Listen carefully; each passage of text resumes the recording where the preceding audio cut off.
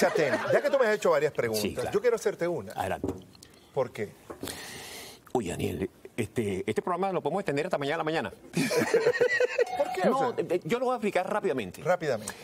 Eh, hace, muchos años, en verdad, eh, la emisora para la que yo trabajaba, eh, 92.9 en Venezuela, que ahora está fuera del aire por, por Sí, excesos de la dictadura, se inventó una campaña que decía 100% libre de gaita. ¿Te acuerdas de eso? Sí, cómo no, 100% claro. libre de gaita. Yo estaba absolutamente en contra de esta campaña porque me parecía innecesaria. O No, y a nosotros en Maracaibo casi quemamos. Así fue, así hicieron caravanas con pancartas No, y no, y no sabes cómo repercutió eso en la sintonía Claro. de Radio Caracas en, en, en y Maracaibo. No, vale, lo recuerdo perfectamente. Pero yo me oponía desde la emisora, desde los micrófonos de la emisora, a que eso sucediera. ¿Qué pasó?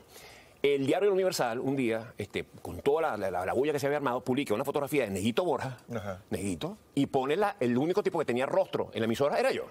Y me ponen a mí 100% libre gaita y la opinión de Neguito, cómo es posible que atente de esta forma a la cultura del venezolano, del Estado. Ok. Entonces me cuenta el productor de la emisora que te escuchó a ti, te consultan a ti como Zuliano, Ajá. este, tu opinión sobre el 100% libre gaita, entonces tú dices, oye, vale, eso seguro, eso es lo que me cuentan a mí.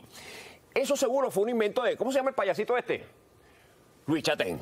Y yo ahí fue, chico, el ¿De rayo, el, el rayo del catatumbo me llegó y así me convirtió en Thor, el rey del mazo. Ajá. Y yo dije, bueno, esto, esto es un tipo muy picado, Daniel. Tú también. Sí, pero yo lo controlo, evidentemente. Pero, pero Luis, pero Luis, la verdad es que yo, yo cuando libre de gaitas no sabía que era eso. No, no sé si se, vivía en Venezuela, eh, vivía en Caracas ya. Claro. No, hombre, si estabas haciendo sábado sensacional.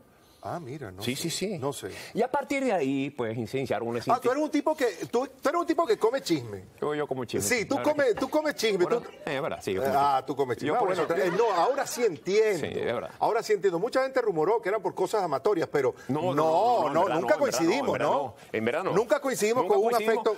Aunque este, mi, mi amistad con Chiquinquirá este, era, era, era previa. Eh, claro, como no, no hay ningún problema. Una gran mujer, una gran mujer. Tanto como la mía con Daniela Cosán cuando Eh, eh, es cierto, eso también dolió. Sí, es verdad. Este, bien, vamos a tomar aire, vamos a tomar aire y ya estamos de vuelta con Daniel Sarco, acá en Chatén por Mega TV.